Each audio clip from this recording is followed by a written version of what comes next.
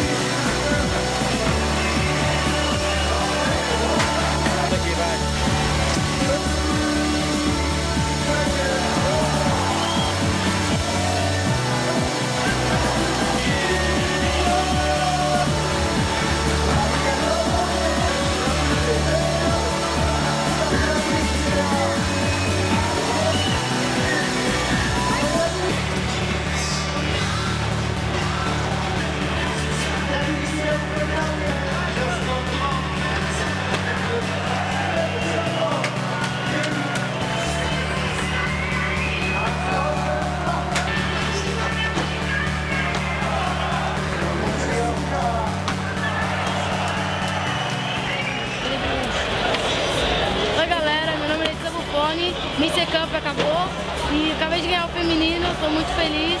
As meninas andaram muito, as brasileiras representaram, quando ela ficou em segundo lugar e a Jéssica ficou em quarto lugar.